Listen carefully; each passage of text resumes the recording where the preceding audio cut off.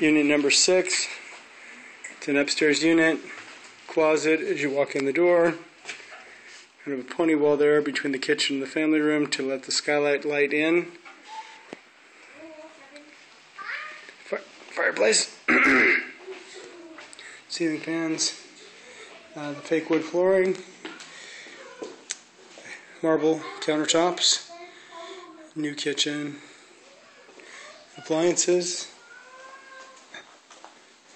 Down the hall, at the end to the right is the bathroom, the shower over the tub. To the right is the smaller bedroom, larger closet.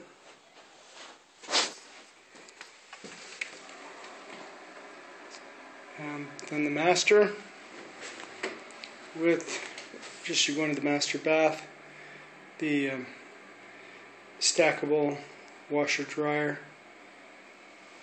Same layout for the, the bathrooms as for the kitchen, granite countertops, shower and toilet together, and a small walk-in closet.